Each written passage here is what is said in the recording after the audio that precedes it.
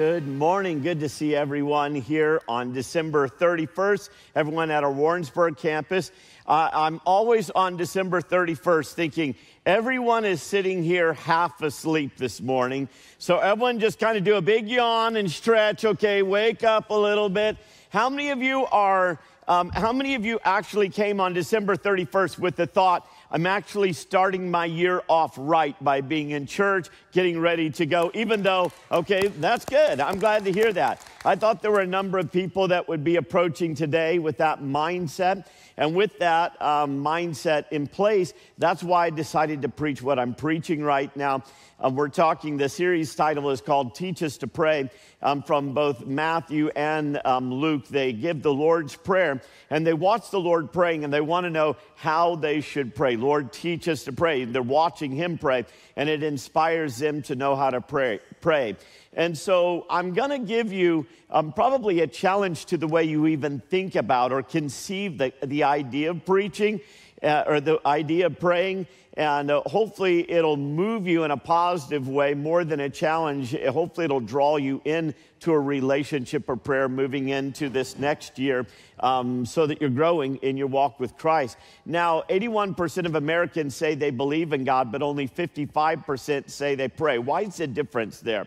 If you believe in an all powerful God, who wants to know you, the creator of the world, and can provide for you, why wouldn't you talk to him more and say, hey, God, um, I need your help today with this. Probably most of you that are in church do this. This is more indicative of the world maybe outside of the church. My guess is that probably everyone here has some sort of prayer life, unless you're not yet a follower of Christ and you're considering and thinking about it. And even you, um, it, it, found out even people that weren't Christians um, or weren't believers in a faith often prayed to God in times of distress because it was kind of one of those Hail Marys. If he's up there, you know, I better just be safe and talk to him real quick and ask him to help me out. There's an old saying, there's no atheist in foxholes. In other words, when the bombs are blasting overhead, everyone starts praying in the foxhole just in case.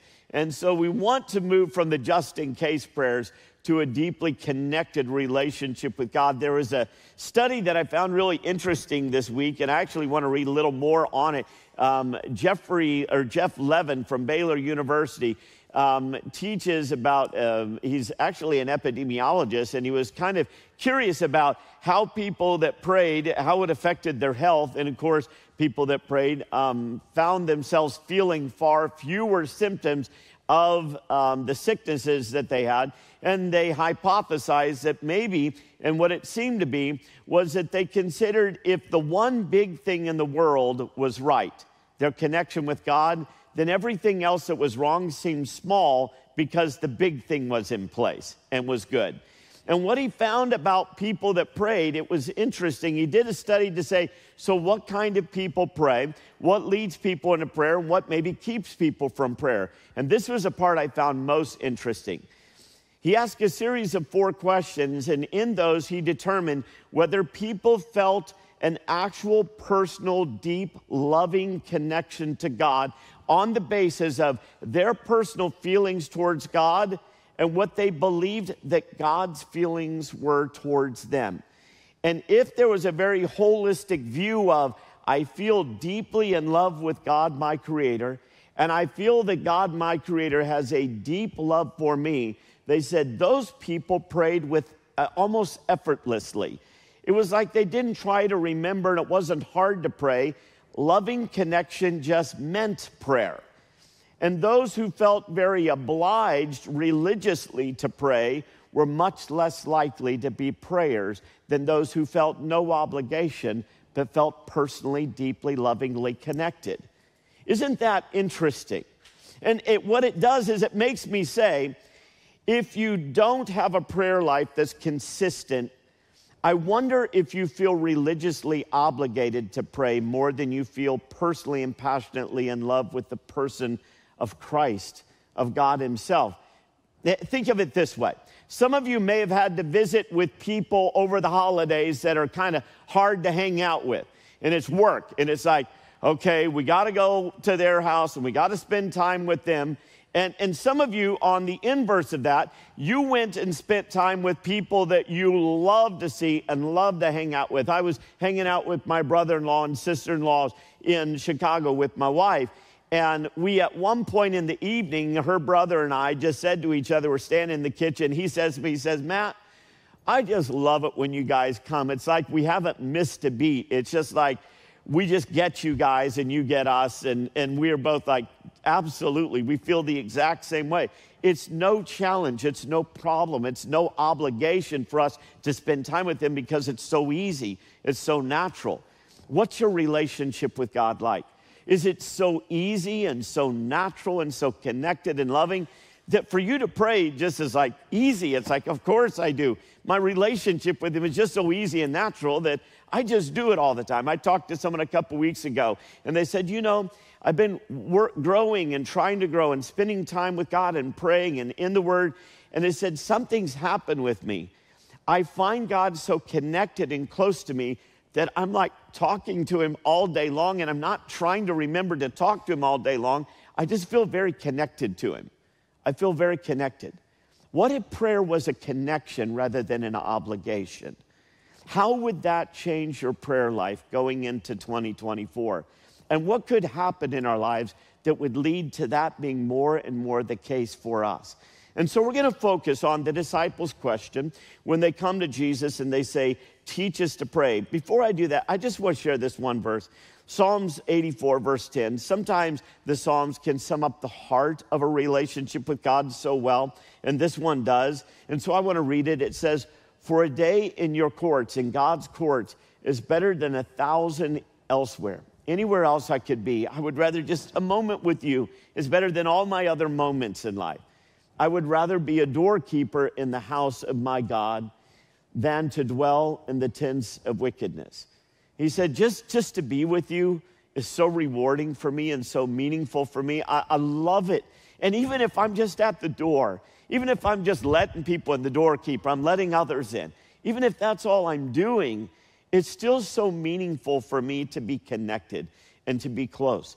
I love that uh, I, I, I read that and I think, I think he means it. He's not trying to sound like, oh, I'm really into God. That's a deep personal expression from someone. That's an original thought. We go back and read it, and it's a repeated thought. But that's an original thought written down from a heart that's deeply connected to God. And when God looks down and he hears, like I heard the person a couple weeks ago saying, I just feel so like connected to God. I'm just talking to him all day long. There was no practice pattern of words where they were repeating something trying to sound holy. It was a very natural expression that came from their relationship. I wonder, wonder as God is listening to your consideration of prayer in this moment, what he's hearing is the natural expression of you, like, oh, that sounds easy, but I'm really busy and I can't do that. Or if he's like, oh, I feel that way too, God. That's I just love being with you. I just love my times with God. I wonder what God is hearing. And so I love that natural expression. So the disciples, let's read here, Luke chapter 11, verse 1. Now Jesus was praying in a certain place. Do you have a certain place where you pray? What, what is it? Is, is it your chair? Is it your office? Is it your car as you drive? Jesus had a certain place. The disciples saw it and they knew it. Now, Jesus was praying in a certain place. And when he had finished, one of his disciples said to him, Lord, teach us to pray, as John taught his disciples. It, it's like there's this awe, this inspiration that's happening right there. And they're actually watching. Could you imagine this? Try to put yourself in this moment. You're standing off at a distance, and Jesus is in a certain place praying. And maybe you got up earlier than the rest of the disciples, and gradually some of the others crept up beside you, and they're like, What's he doing? They're like, Well, he's praying like normal. Just he's over there talking to his father and your hearts kind of grow and well up, and you're like, wow, listen to him pray. He has such an intimate, I, I never prayed like that. I never thought of God as my father the way he thinks of him. He, it's like it's personal for him. It's like he knows God personally and connects with God. He's just talking to him like he's his Abba, Father, is, his daddy. And he finishes up and, and he finally stands up and he dusts his knees off as he's been down on the ground. And he walks over, and the disciples are kind of like, oh, we weren't peeking, you know, we were just hanging out over here. We weren't being weirdos watching you pray. And he walks over, and they're like, hey, Jesus, could you teach us to pray like that? John, like he taught his disciples how to pray, and, and we watch you pray, and we wish we, we could talk to God the way you talk to God. Now, how many of you in this room, if you could do that and be in that moment, would be listening very attentively to what Jesus was about to say? Hands up, anyone? So that's what we're about to listen to as we read the scriptures this morning. We're about to hear the answer to that question. Let's continue and read. I'm going to be jumping around a little bit. I'm going to pause for just a moment. We get the Lord's Prayer next pray our Father who is in heaven, hallowed be thy name. Thy kingdom come, thy will be done. He prays, he gives them the Lord's Prayer as a pattern of prayer. Okay? Next week, we're going to talk about the pattern of prayer. We're going to go backwards next week. This week, though, we're going to talk about the heart of prayer. After he teaches the pattern of prayer, he teaches the heart of prayer. And so today, we're learning about the heart of prayer. Everyone say, We're learning about the heart of prayer. Okay, so let's start with this. Now we're going to jump to Luke 11, verse 5. And he said to them, Which of you who has a friend will go to him at midnight and say to him, Friend, lend me three loaves, for a friend of mine has arrived on a journey and I have nothing to set before him. And he will answer from within, Do not bother me. The door is now shut and my kids are in bed I cannot get up and give you anything. I tell you, though he will not get up and give him anything because he's his friend, yet because of his impudence, he will rise and give him whatever he needs. And I tell you, ask and it will be given to you. Seek and you will find. Knock and the door will be open to you. For everyone who asks receives, and he who seeks finds, and the one who knocks it will be opened. Now, I'm going to pause for just a moment. Everything Jesus is teaching is lesser to greater, okay? We've been hearing lesser. Now we're moving to greater. What father among you, he's changing the person from a friend who's annoyed to a father now. What father among you, if his son asks for a fish, will instead give, uh, instead of a fish, give him a serpent? If he asks for an egg, we'll give him a scorpion. If you then, who are evil, know how to give good gifts to your children, how much more will your heavenly Father give the Holy Spirit to those who ask? As I read this, I've thought of this teaching in the ask, seek, and knock um, relationship and um, kind of um, just that emphasis on trusting God and coming to Him repetitively. But as I looked deeper into it and studied the passage, I realized that this is a, unique teaching. Jesus occasionally teaches from lesser principles to greater principles. And not that the lesser principles are wrong, but they're kind of starter positions. And we move from a starter prayer to an advanced prayer, from a starter relationship to an advanced relationship, from a starter request to an advanced request. And that's what happens in this, in this prayer. And so we're going to look at those three things and, and we're going to look at kind of the lesser and then the greater as we learn to pray. And my goal today is that as we spend some time, the first 21 days of the prayer, of this prayer and fasting, um, and by the way, we're going to be having our first worship night. That'll be next Sunday night, is when we're going to have our first encounter night here at the church at six o'clock. But I'd like us to even be this week moving from a lesser to greater position in the way we connect and pray with God. So, the first one, you can go ahead and write this down. Number one is this Jesus wants to reframe who we imagine we are asking. I know that's a little bit long, but I'm going to have everyone here and in Warrensburg. Can we all read this together? Let's read it together. Jesus wants us to reframe who we imagine we are asking. Verses 5 to 7, and he said to them, Which of you who has a what? A friend. So we're starting with a friend. Which of you has a friend will go to him at night to say to him, Friend, leave me, uh, lend me three loaves for a friend of mine has arrived on a journey, and I have nothing to set before him. And he will answer him from within Do not bother me, the door is shut, and my children are with me in bed. I cannot get up and give you anything. I just rem- uh, imagine the friend maybe right outside the window. It's probably ground level there, and he's whispering in there saying, Get up. And this was common in the Middle East. It was a shared bed. We imagine, you know, everyone has separate rooms. There was typically one room for sleeping and one area of that room where the whole family would curl up because uh, they didn't have central heating and central air. So uh, you would just curl up with everyone, and that's the way you kept warm at night. And so he's like, that's, that was common basically through the world, and still in some portions of the world it is. And so they're curled up, and the friend's outside, and he's whispering. And how many of you get the sense that the friend is annoyed? You can just hear the annoyance in this uh, dialogue right here. Leave me alone. I'm already in bed. My kids are asleep. How many of you, if you're in bed and your kids are asleep, you don't want to wake up the baby and have them crying and have to put the kid back to sleep again? You remember those years, right? I'm almost picturing like he's got a, a toddler or a baby and he's like, I, I just got everyone to sleep. I'm not about to move.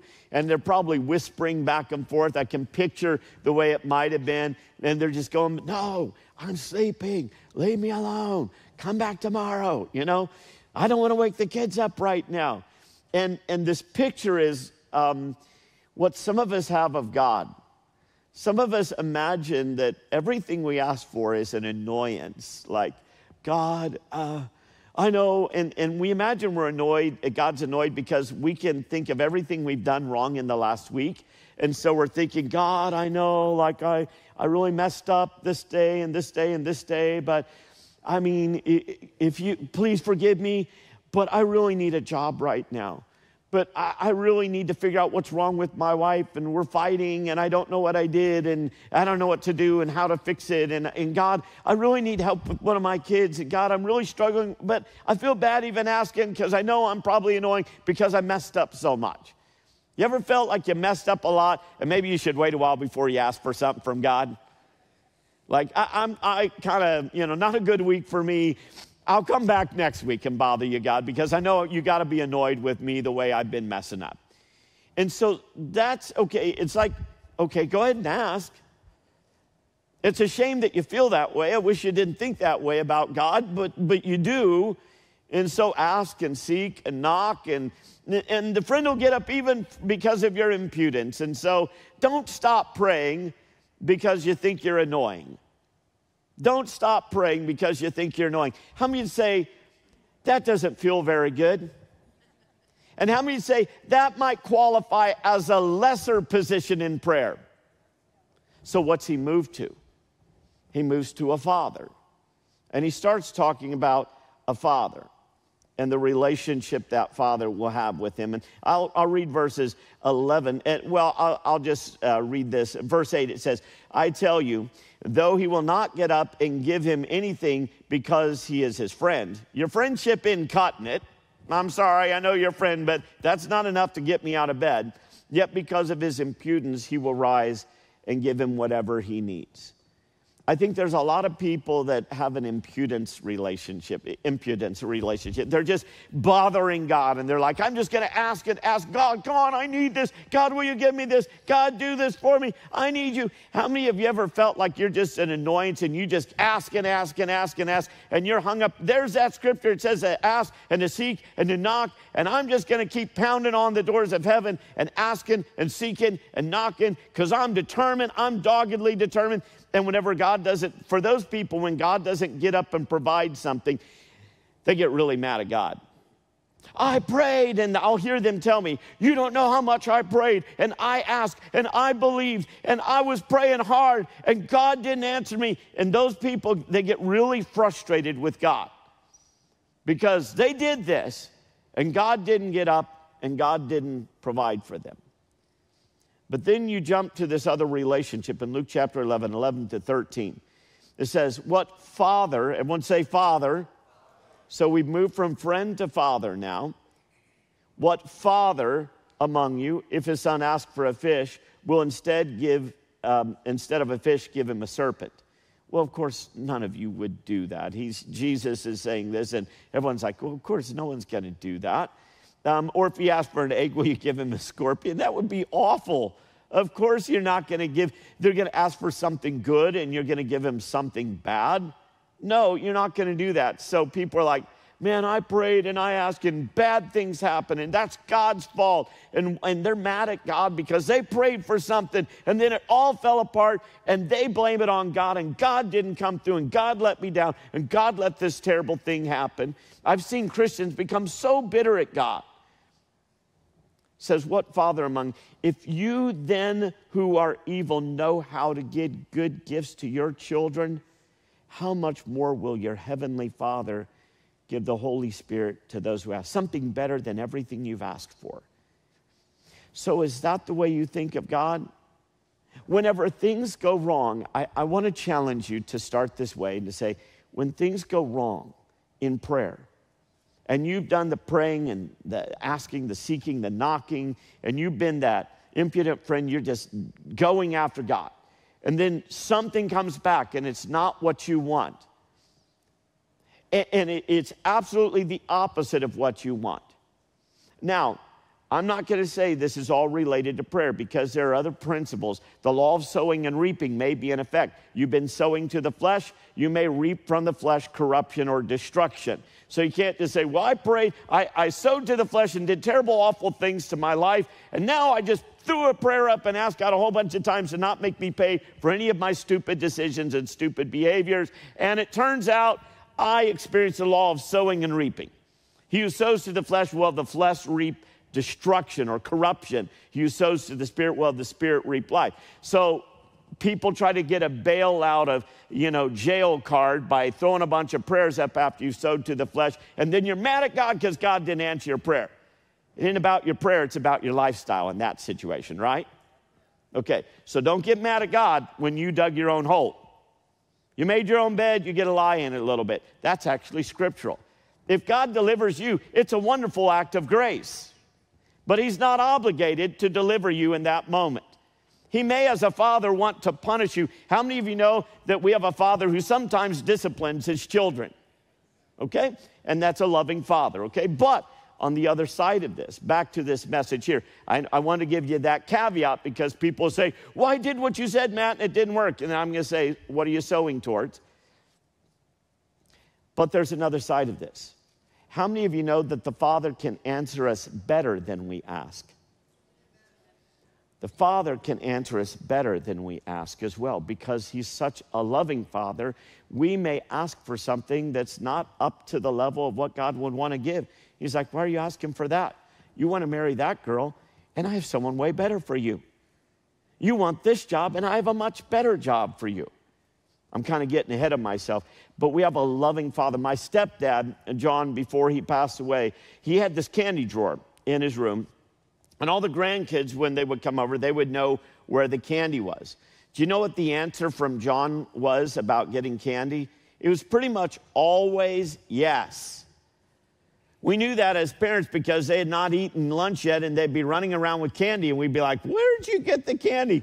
Grandpa's drawer. Once you heard it was Grandpa's drawer, you had to let it go because it was their house and they were going to win on that one. Do you think of God that way? That's not a bad thought to say, I have a God who's very, very loving. And if I ask for something, He's not going to give me something worse. I'm not going to ask for an egg and get a scorpion. I'm not going to ask for a fish and get a snake.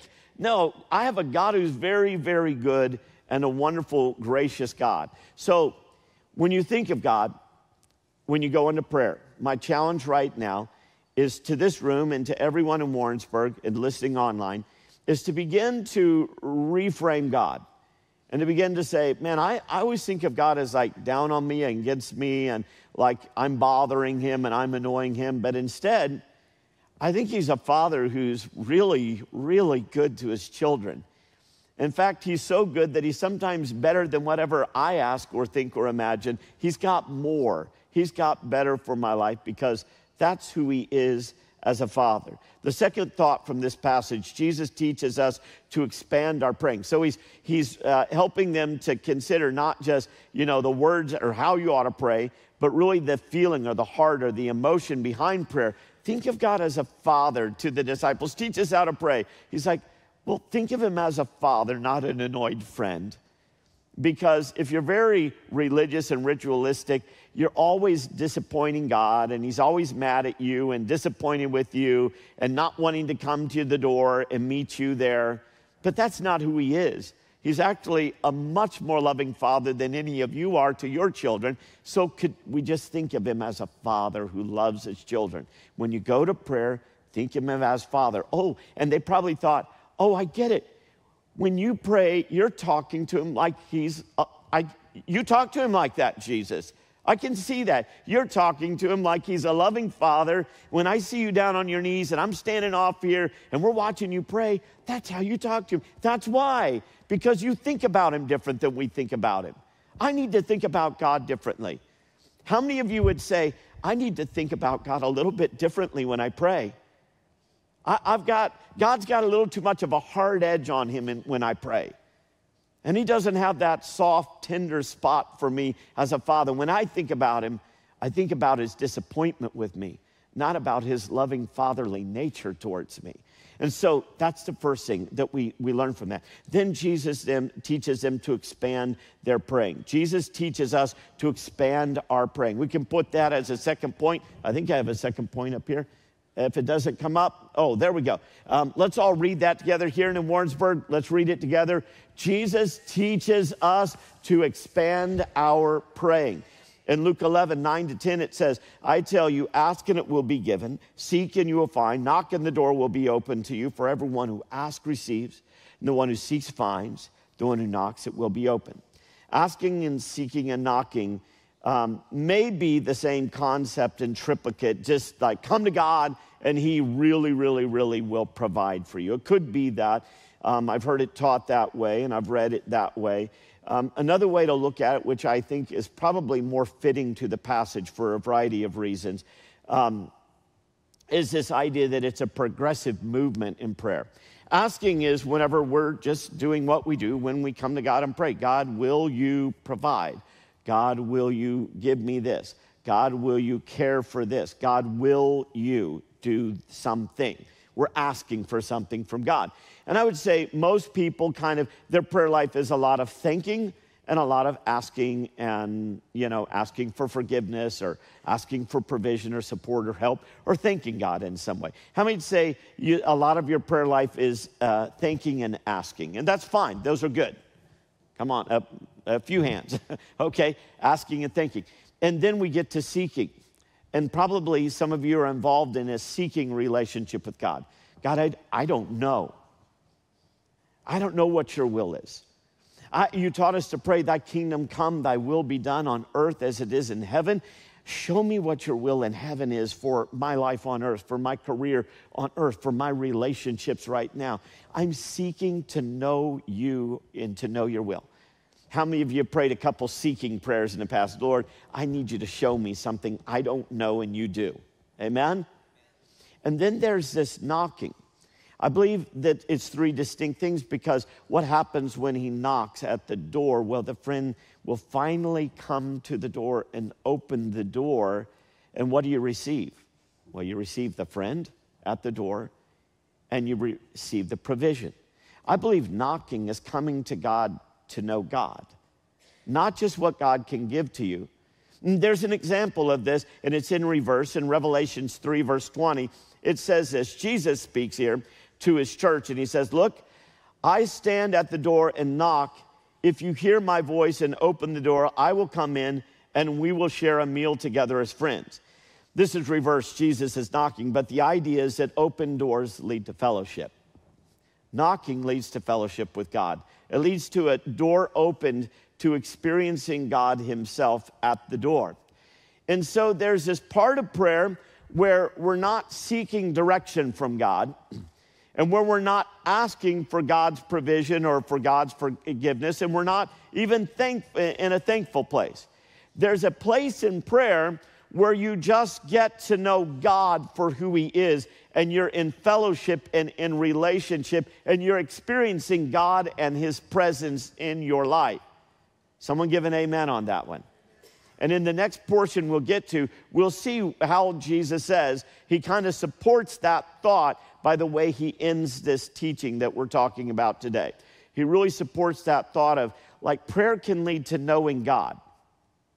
Prayer can lead to knowing God, not just getting something from God. We think the Bible reading leads to knowing God alone, and it, it does lead to knowing God, but I can know God also through my prayer life. Like God can show up, His presence is there, a sense of Him speaking or settling my heart, bringing peace to me, bringing a sense of His fellowship, His presence into my life whenever I'm needing it. A sense of His overpowering love has settled on me whenever I've been in prayer. Have any of you ever been in prayer and you felt more than just like God might answer, but you felt like God was actually there in the moments you were praying and with you in that moment, and that His presence was like beautiful and powerful and peaceful and loving and Come on, a couple hands in the room. Anyone, you've been there? Okay, so so prayer might be asking I need something.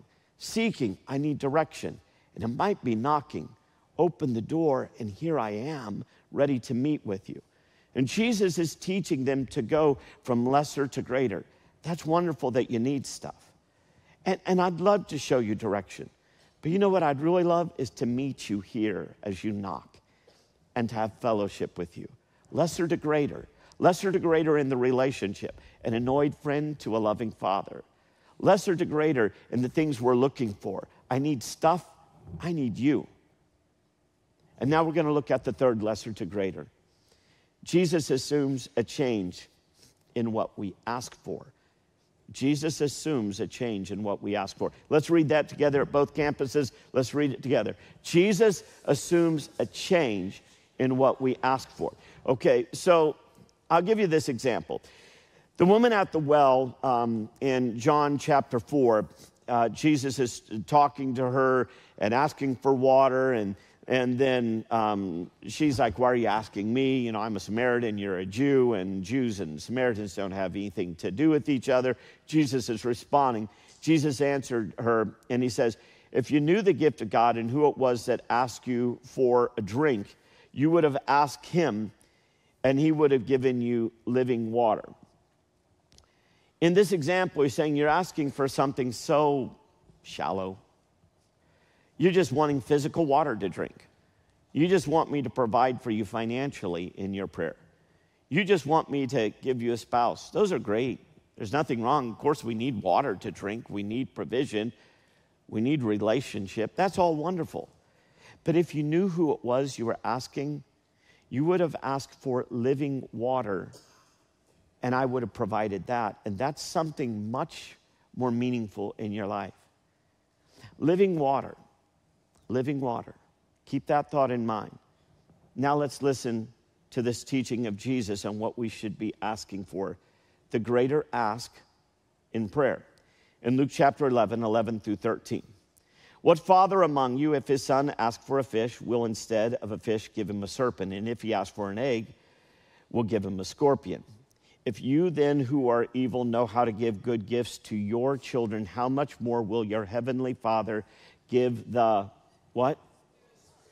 The Holy Spirit to those who ask. This isn't part of the conversation. No one's asking him how to have more of the Holy Spirit. They want to know how to pray. And he says, You know the kinds of things you ask for? Yeah? He's like, that's not how you should be praying. It's okay to ask for those things, that's fine. But if you knew who you were asking, you would ask for Him. If you knew it was God when you showed up, you would ask to meet with God when you showed up. If you knew He was real and He was the divine sustenance for every human soul, and that nothing you eat or drink, no amount of money, and no amount of provision could ever live up to the presence of God Himself. The human life was created for the God who created human life. And all we want is the stuff on the planet that He created with us when we were meant to experience the God who created the planet. You would ask for living water if you knew it was God when you prayed. You would ask for the Holy Spirit, the very presence of God on earth. The Holy Spirit is God's presence in your life. And you want stuff. And all you do is spend your prayers asking for stuff when stuff will never fill you. Jesus is the bread of life, He's the living water. And if we drink of Him, we will thirst no more. It's the Holy Spirit filling our lives. How many prayers have been on the lesser end of the spectrum? Good things, but lesser things and how much of your prayer life is dedicated to asking for God Himself to be part of your life and to be present and to fill you for living water. Lesser to greater. Is He annoyed friend or a loving father to you when you pray? How do you sense Him? What do you think of Him? Are you moving from asking for stuff to asking to know Him, knocking, I want to see you? lesser prayers to greater prayers. That's the heart of prayer that Jesus teaches. And so, as we're going into 21 days of prayer and fasting, in 2024, I'm hoping that God becomes our first priority. And that we begin to say, I, I just want to meet Him. I want to connect with Him. I want to experience God. And so, in a few moments, whenever we pray, I'm going to ask you to give up something physically. I'm going to ask you to say, I'm going to acknowledge that the physical has become a priority too much in my life. It's funny because we're coming out of Christmas where how many of you ate enough food over Christmas? How many of you got enough stuff over Christmas? This is an interesting timing of this. It's really interesting because where we are right now as Americans, and in my personal life, where I am, Matt Harris is, I've had plenty of food and plenty of stuff. But I've been awful busy and I need more of God. And so by fasting, I'm going to set aside some meal times to remind myself this is not what it's all about. Another meal, another coffee, another, you know, whatever, bacon, egg, and cheese biscuit sandwich whatever it is, your thing is. It's not about that. I'm spending time in your presence and I'm communicating through my fasting, setting aside a meal. And, and, and here's this is big. This is big. Because when you hear 21 days of prayer and fasting, you're like, oh my gracious, there's no way I could ever do that. And some of you, maybe medically for some reason, you can't. Most of you can't because it, you're too hungry, okay, by day two. Me too, I get that. So here's what I'd like you to do to accept this challenge. Let's accept one challenge. Could we fast tomorrow morning's breakfast and pray? Anyone? Could we fast tomorrow morning's breakfast? Okay. So we're starting off the beginning of the year with fasting at least one meal. Now, some of you are going to add that up and you're going to say, I'm going to fast the first day of this year for prayer and fasting. I'm going to just fast the whole day for prayer and fasting. Some of you have big family plans and meal and all that. I'm not asking you to change that. Some of you, I've, I talked to someone who was like, I think I might try to do like a meal a day. I might do, give my breakfast up and just spend that for prayer time with God. Other people are going to try to go the whole 21 days and they're going to be drinking water and juices or whatever. They might do a juice fast. I don't know what it is.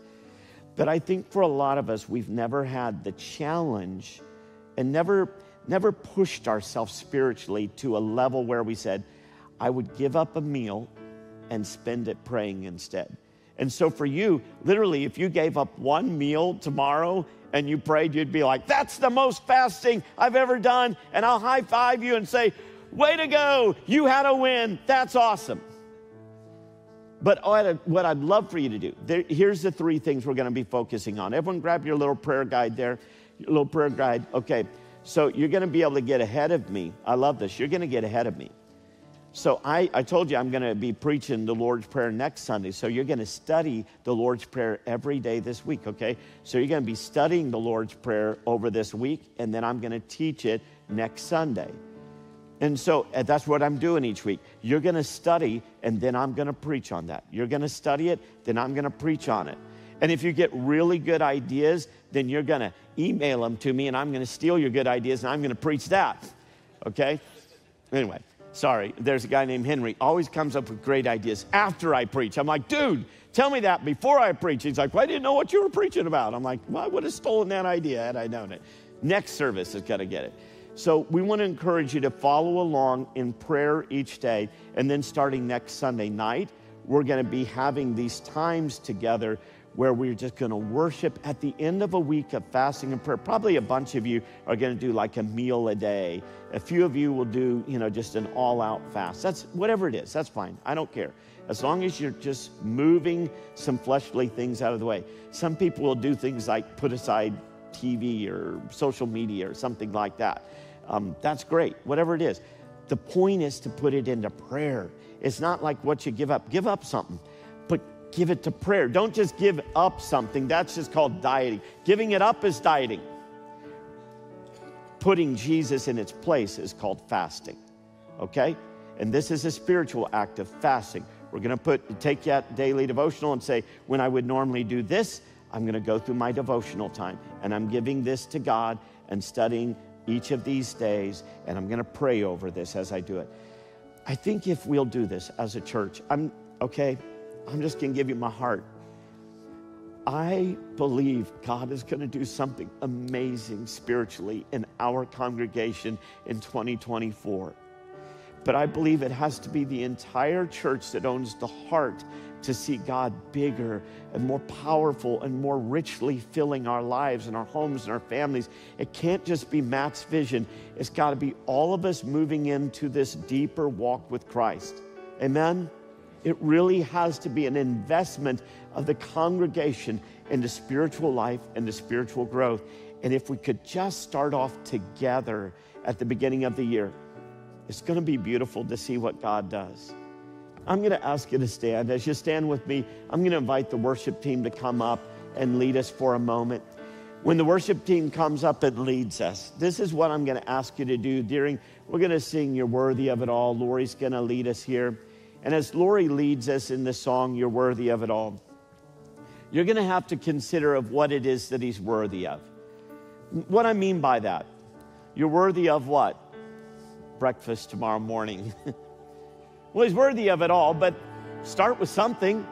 Lord, you're worthy of, you know, I'm not eating till dinner every night. And I'm going to take my lunch hour to read the devotional in the morning to pray and I'm, you're worthy of this. This is what I'm going to do to spend time with you over this next 21 days. You're worthy of it all. I'm, I'm going to be at all three encounter nights on the 7th, 14th, and 21st.